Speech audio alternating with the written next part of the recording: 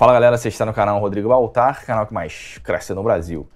Pessoal, no vídeo de hoje a gente vai dar uma olhada no vídeo que a Sony soltou hoje cedo de um japa profanando o poderoso PS5. Então, pela primeira vez, a gente vai ter a oportunidade de ver tudo que tem dentro do console. Como é que ficou o sistema de refrigeração do PS5. E um vídeo desse é interessante, porque em meio a tantos rumores de PS5 dando problemas nas fábricas, será que a refrigeração do PS5 que a Sony colocou no PS5 vai ser capaz de dissipar todo o calor gerado por uma usina da AMD com 2200 MHz de clock?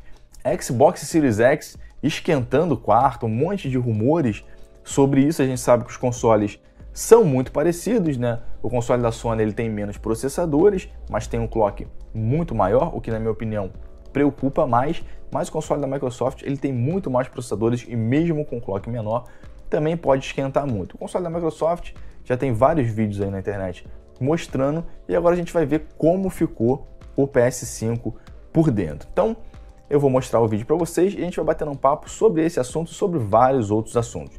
Não esquece de seguir lá na Twitch, arroba Baltar, virar Prime e seguir as regras do sorteio que estão lá no Instagram, na nossa RX 5700 AS Rock Challenge. É muito importante que você siga as regras do sorteio para que se você venha a ganhar, você não tenha nenhum problema. Dá uma olhada nos nossos patrocinadores, GVG Mall, Terabyte Shop para você comprar um super computador melhor que os consoles de nova geração e o App One Football para você ficar por dentro de tudo que rola no mundo da bola, agora transmitindo também o campeonato alemão via aplicativo. Então, vamos lá dar uma olhada nesse vídeo da Sony. O crack é igual o João 1010, só vem para roubar, matar e destruir. Fuja da craqueagem e compre já sua licença Windows original no site da GVG Mall links na descrição. Então vamos lá, pessoal. Antes da gente começar a ver esse vídeo, a gente sabe que componentes eletrônicos esquentam, esquentam muito. Você que está acostumado a ter um computador high-end, você sabe que o seu processador esquenta muito, você bota lá o water cooler, você compra um cooler melhor, você enfia um monte de fan no seu gabinete para poder dissipar o calor. Você sabe que placa de vídeo esquenta muito. Cada vez, cada geração, as empresas investem mais em, em tecnologias para melhor dissipação desse calor gerado. E no caso do console é muito difícil, porque o console ele precisa ser potente, consumir pouca energia e ter uma certa portabilidade, né? Ele não pode ser tão grande quanto um gabinete de computador. Então os caras têm um trabalho de engenharia muito complicado para poder lidar com tanta potência, né? com tanto calor sendo gerado, sem que isso traga problemas de funcionamento para os consoles. E isso acontece nos PCs também. E geralmente, geralmente, o grande problema, o que traz o problema, são os sistemas de refrigeração. Eu já contei aqui várias vezes que eu tinha placa AMD que batia 94 graus, né? fazia um pequeno ajuste ali de overclock e potência, a placa batia 94 graus, você botava fã no máximo ali, três fãs ventando em cima da parada, a fã com dissipador lá gigante, Gigabyte, Safiri, um monte de marcas e não dava conta. A parada ficava ali em 94 graus, 94 graus.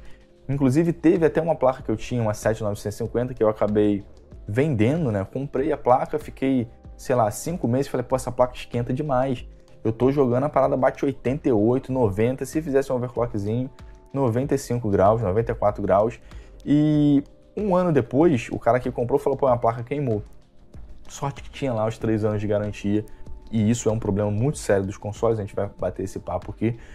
Então, em uma dessas placas, que esquentavam muito, que batia 94 graus, eu decidi comprar um cooler Aftermaker, da Gelid, um Ice Vision. E é um cooler muito simples, né? ele vem com um dissipador grandinho assim, com duas fãs, e quando eu troquei o sistema de refrigeração da minha placa de vídeo, ela caiu lá de 94 graus para 65 né? No máximo ali, quando você ficava estourando lá em, em, em 99%, o, a placa batia 70 graus, 75 graus no máximo. Então de 94 para 70 graus é uma diferença muito grande. E quando eu tive também uma 290X, a placa caiu de 94 graus para 65 ou 55, alguma coisa assim, colocando um water cooler na placa. Então, tudo depende do sistema de refrigeração, porque você muitas vezes você pensa assim, pô, esse chip aqui é quente pra caralho. O R9 290X esquentava, tinha vários vídeos aí, vários memes, né, do chip pegando fogo e tal, que a galera fez. E você trocava o sistema de refrigeração, a parada funcionava. funcionava perfeito. E eu não acredito que hoje em dia a Microsoft e também a Sony dariam mole nesse quesito. Eu tive o PS4 Slim aqui e ele queimou. Ele simplesmente parou de funcionar. Né? Então a gente não sabe se é um problema. Os caras falaram que não era problema de rebalem e tal, falaram que era GPU que deu problema. Eu sinceramente não sei, porque eu não tenho como verificar isso, mas aquecimento gera esse tipo de problema. Então a gente tem que ficar de olho, até porque esses consoles só têm um ano de garantia. Então vamos dar uma olhada aqui no vídeo da Sony para a gente ver o que tem dentro do poderoso PS5. Então vamos lá, galera. Vamos dar uma olhada aqui no vídeo. Ele te dá um anúncio aqui para você não profanar o seu console em casa. Vamos lá. PlayStation 5 Tear Down. É lágrimas caindo, né? Uma porra dessa, né? PlayStation 5です。サイズは幅 104mm、高さ 390mm、奥行き 260mm と Parece um fichário gigante da D-Link. 処理能力や静音性の面で飛躍的な性能向上を É muito grande, mano. Ou esse japa tem 1,45m, ou o console é muito grande. É maior que o notebook que eu tenho aqui. USB Type-C port to high-speed USB Type-A port. Então ele tem duas... Um USB tipo C e um USB 3.0, 3.1, 3.2 talvez.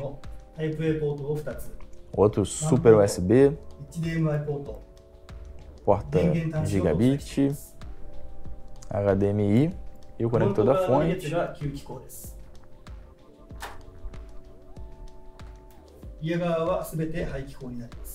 É, falando desse design do console, com toda a sinceridade que eu sempre vou trago aqui no canal, eu achei ridículo. Ridículo, ridículo, ridículo. Ainda mais se essa porra tiver que ficar em pé. Né? Porque, caralho, Bom, vamos lá. Toda vez eles mostram o console em pé, né? E, e depois você tem como colocar deitado. Mas essa porra aqui não me parece não, né? Ah, tem uma base ali, então vamos ver. Show, show, Japa, show. Show, vai poder botar deitado. Primeira coisa que você tem que fazer quando você comprar um PS5 é pegar esse suporte e jogar no lixo. Só serve para você gastar, para você pagar por esse plástico aí horroroso. このキャップを固定しておきます。横置きにするときはベースを回転させてください。 O meu japonês tá um pouco enferrujado da época de Cavaleiro do Zodíaco. Senão eu tava fazendo a tradução simultânea pra vocês. Caralho, é um trambolho, mano. Parece um, porra, um bolo. 両側の白いパネルは Caralho, é muito grande, cara. O videocassete, sei lá que porra é essa. 後ろの角を持ち上げてスライドすると外せます。 Meu Deus, é muito 後ろの feio. 角を持ち上げてスライドします。ここに Podia ser preto, né, cara? Podia dar um. passar um spray ali, um jet. 両側から 大量の空気を吸い込みます。Ah, então ele dissipa. Não sei se ele dissipa calor pros dois lados, né? ダスト Vamos キャッ ver. チャーを設けました。Sei. ダストキャッチャーに溜まったホコリはこの2箇所の穴から掃除機で吸い出すことが可能です。将来の拡張ストレージ用として PCIe 4.0に対応した M.2 インターフェースを搭載しています。ここから PlayStation 5を分解していきます。 O que, que era aquela porra ali? Um slot M2? Não consegui ver direito.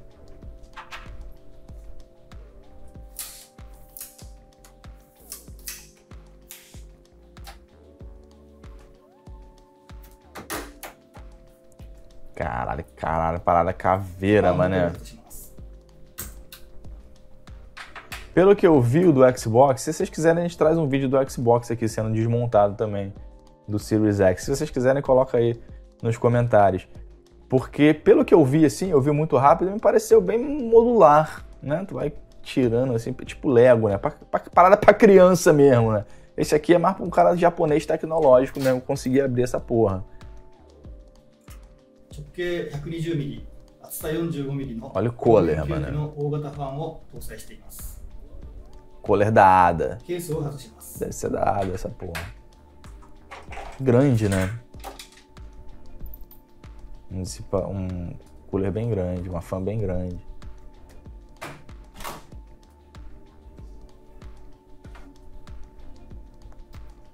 Ultra HD Blu-ray no Drive Unit Ó o cara aí, ó, de, de, de mil reais. Drive Unit Blu-ray. Uma outra coisa interessante também da gente falar é. Eu sempre fui é, contra esse negócio de mídia física, né? Mas eu tenho visto vários jogos de mídia física, inclusive a gente está com os links aqui na promoção, de alguns jogos que estão mais. parecem estar mais baratos, não sei quanto é que vai vir na PSN lá. E realmente a parada de você comprar a mídia física e vender depois, né? Joga o jogo, que é o joguinho da Sony de 30 horas, você zera e depois. Né? Então a galera tem a oportunidade realmente de vender o jogo. É, isso aí vocês vão ter que fazer o cálculo de vocês para ver o que, que é melhor, né? Mas talvez essas 500 pratas de diferença aí possa fazer, sei lá, tu compra um jogo de 300 reais, depois você vende ele por 200. Você consegue talvez tirar essa. Com certeza você vai tirar essa diferença até o final da geração.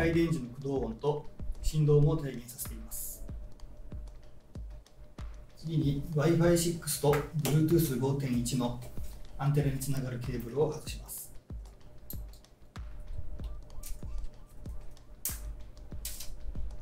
Caralho, シールド板を外します。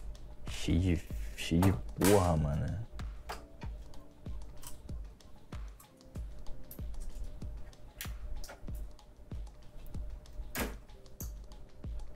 Olha as memórias ali, ó.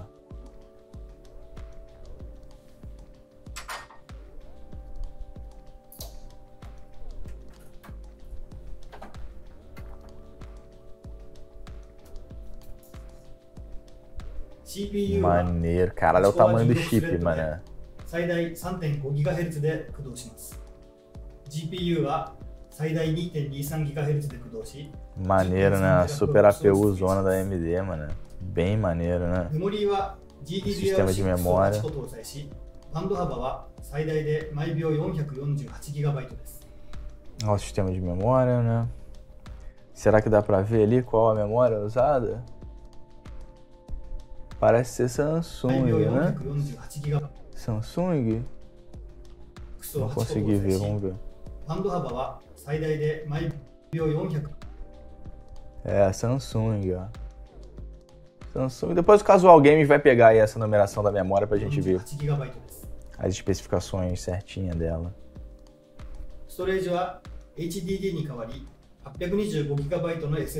Olha o Super SSD aí. カスタムの SSD コントローラーにより読み込 O controlador tem um controlador a custom, né? で Interessante. 毎秒 5.5GB と高速化されゲームのロード時間を大幅に短縮しています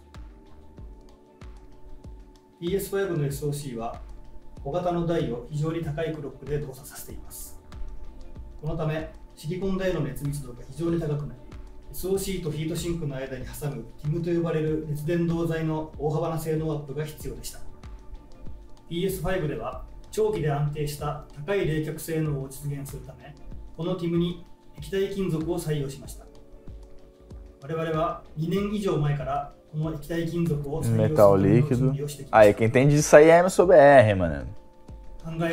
Exterminador do essa 採 porra. Tem mil.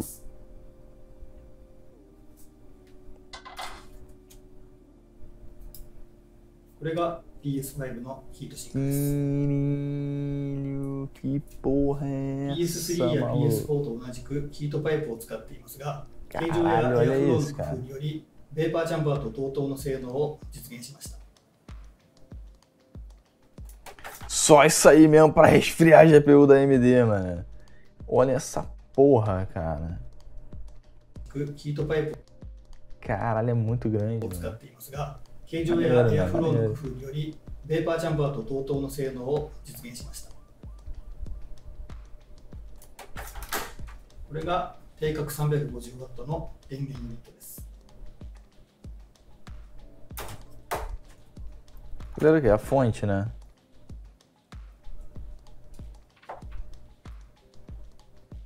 これがプレイステーション5の全部です。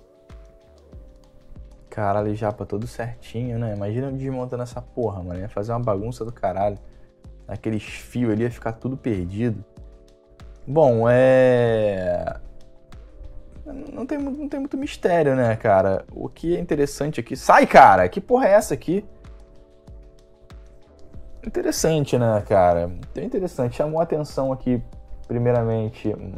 Porra, se, se você vê aqui o tamanho do, do cooler, cara, é realmente um cooler muito grande. É quase do tamanho da base, ó. E você consegue tirar pelo tamanho das, das chaves de fenda. Agora, em relação ao, ao design do console, eu sinceramente achei feio. Né? Mesmo sem a base ali, eu achei feio. Eu prefiro umas paradas mais minimalistas, sem muito detalhe, sem muita. sem ser muito é, faraônico, tipo Oscar Niemeyer, né? Eu preferia que fosse alguma coisa mais simples. Mas. Né? E, e tipo assim, parece, parece que ele não precisava ter ser dessa forma, né? Porque o dissipador, embora seja grande, a fã, embora seja grande também, dá para fazer um negócio quadradinho. O videogame que eu acho mais bonito, eu, não, eu acho que o Xbox Series X e o Series X não, o One X e o One S. O One S é aquele branquinho, né? Aquele ali eu acho bonitinho, mais bonito do que os consoles da Sony. Mas não sei se não sei se teve muita gente que gostou desse design não, cara.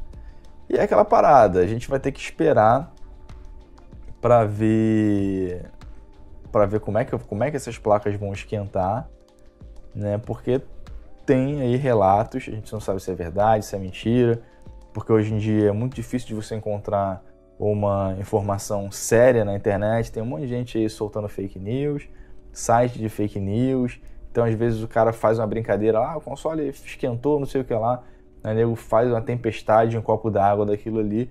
E pra gente, pra gente, caso esses consoles venham com algum problema de, aque... de aquecer, ele vai aquecer. Né? A gente sabe que vai aquecer. Mas que esse aquecimento possa gerar algum problema, sei lá, de desfazer as soldas do console, dar problema de memória, a gente sabe que isso é muito comum. É complicado e é muito complicado, porque a gente só tem um ano de garantia. Um ano de garantia. E em relação à garantia dos consoles, diferentemente de a ah, PEC 51, que tem nego falando aí, vem o cara me cobrar ontem na live, o negócio lá, a proposta lá do Kim Kataguiri, que eu acho justíssimo aquilo ali, mas depende de governo, cara. E o governo não vai fazer nada para melhorar a vida de vocês. Agora, isso aqui, garantia, depende da empresa. Depende de quem está vendendo e depende da empresa. Então, se brigar pela garantia dos consoles, eu acho muito interessante. Porque você compra qualquer placa de vídeo merda, hoje em dia aí de R$ 1.500, R$ 2.000, a porra tem 3 anos de garantia. Você compra um console de 5 mil, só vai ter um. E se você atravessar para Paraguai, sei lá, Japão para comprar, queimou, filho, chora. Né? Queimou, chora. Então, quem quiser brigar pela garantia do console, pode contar comigo. Quem quiser brigar pela garantia dos consoles, pode contar comigo. Em relação a esse lance de PEC 51 aí, eu já estou cansado de brigar por coisas que eu não posso mudar. Então, pessoal, coloca nos comentários aí o que vocês acharam do vídeo, o que vocês acharam do Poderoso, o que vocês acham desses rumores de console estar tá esquentando. A gente vê muita besteira por aí, infelizmente. Infelizmente. E hoje eu ia fazer um vídeo sobre aquele filme O Dilema das Redes, que eu assisti ontem. Achei que tem pontos interessantíssimos ali para a gente bater um papo, principalmente por conta da fase que vem vivendo aqui o meu canal do YouTube. Então fica de olho aí no canal, me segue lá na Twitch, segue as regras lá, vira Prime, segue as regras para você participar do sorteio da RX, que vai ser um sorteio bem maneiro. A placa custa R$ 2.700. O usuário Lemorales, Lemoralos, que ganhou o gabinete, não apareceu. O gabinete da Rio Toro, simplesmente deu um Prime fake lá e sumiu. E agora a gente vai sortear o gabinete de novo. A gente vai sortear já com as regras novas que vai dar prioridade aos primes. Então, pessoal, é isso aí. Um grande abraço a todos e até a próxima.